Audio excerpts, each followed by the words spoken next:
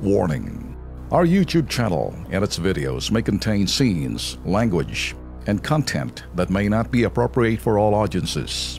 These videos include surveillance footage, undercover pursuit of suspects, actual police and rescue operations, and fearless confrontations. If you do not approve of the content, please do not watch our videos. If you wish to continue, we strongly advise that you proceed with caution. Viewers' discretion is advised. kalsada sa Pasig. Sindilim daw ng anino. May ilaw nga, pundido naman. O mano? Bay, panoorin natin.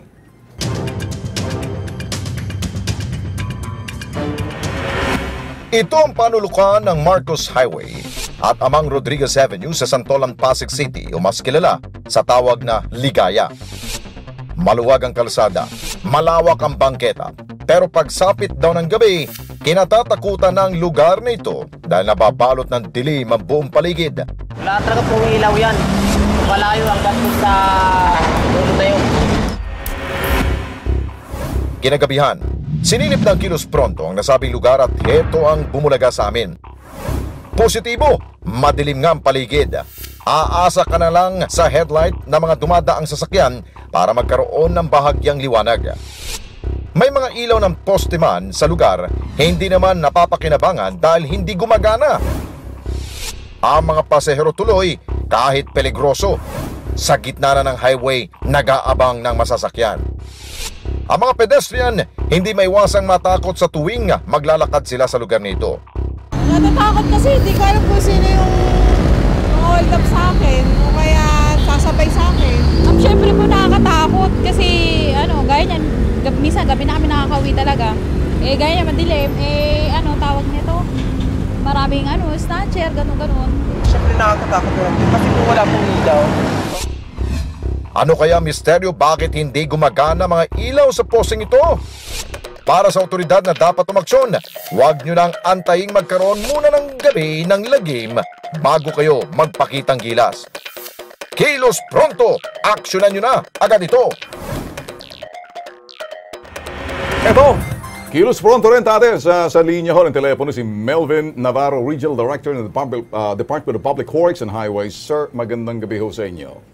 Magandang gabi din po. Magandang gabi din po. Thank you. Magandang Okay.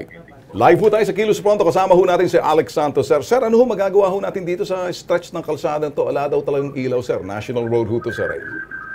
Ah, ah, yung ano, yung binabanggit po ninyo na kalsada po. Ah, base sa ano, impormasyon na na naibigay sa akin ah, na buha ko dito, eh ang project po 'yan ay ginawa po ng isang project management office natin na foreign funded nung ginawa yung Marcos Highway. Okay. Tama ho kayo, sir. Ah, Mhm. Ngayon kasama po sa scope of work yung mga ano, yung mga ah, street light.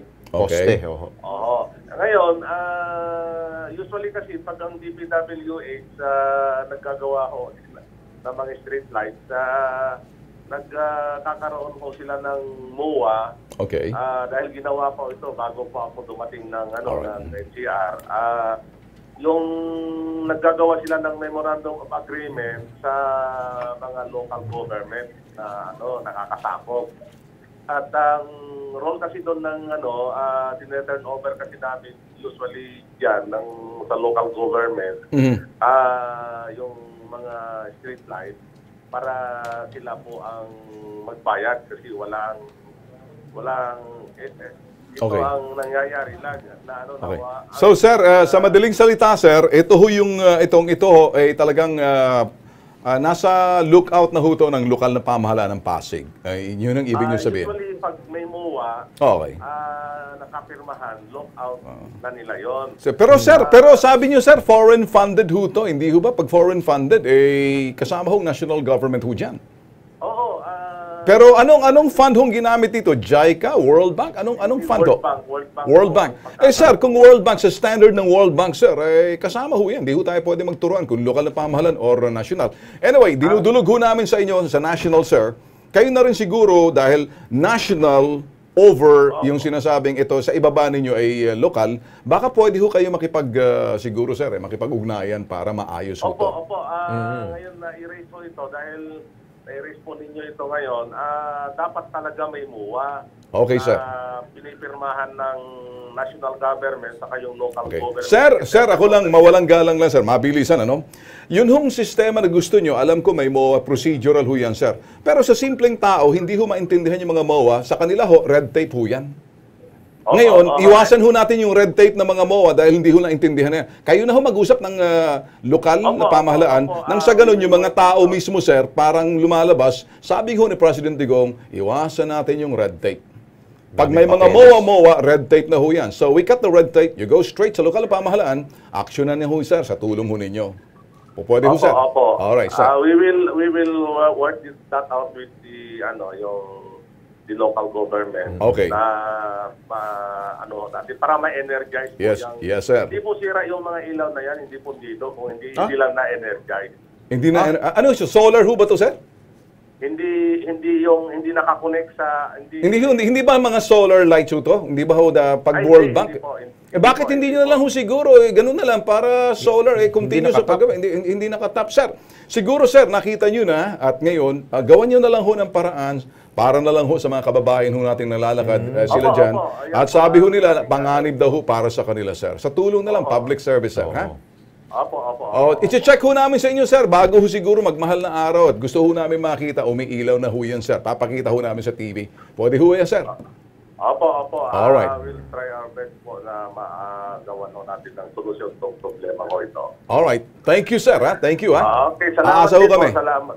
Thank you, thank you. Oo, sabi ko, eh, kung, kung pundido yun, eh, madali naman palitan, di ba? Dahil hindi Tama naman ka. masasabi Ta- na, tama ka. Tama ka. na problemang palitan. Yung pala, hindi pala nakatap sa kuryente. May- Eh, paano maiilawan talaga kung walang Ah, kuryente? Sabi nga ni President Digong, iwasan yung mga red tape. Yes, yung mga papeles, Yung mga papeles. bureaucracy, Tumatagal. mga papeles, at mga procedural aspect, hindi na intindihan ng taong bayan. Tayo, kinakat na lang natin diretso Yes. kung saan ang problema. Ikinu, dinudugtong natin yung lokal at nasyonal para nang sa ganun, makikinabang ang bayan. Para sa bayan, tulad ho ng programang Kilos Naku, Pronto. nakalimutan ko yung magic word. Hindi mo ko ni-remind eh. Habang nandun si director, dapat sinabi ko na, Boss, si Secretary. Ay, si Secretary Villar nanonood. Oo, oo nga, no? Baka pangdagdag sa estrella mo yan. Um, dahil Di ba? dyan, eh, patawarin mo na ako. Oo, yun na nga. Na. sus- Magic word Na- kailangan wala sa isip ko Nasa yun eh. PTV tayo. Kasi, Secretary Villar, kayo Oh. na ang bahalang kumatok sa opisina ho ng NCR Director natin na DPWH, ha? Okay. Ah, kung kayo po, eh, kung may pa, ano naman kayo, kung meron po kayong ah, gustong makatulong po sa ating mga kababayan.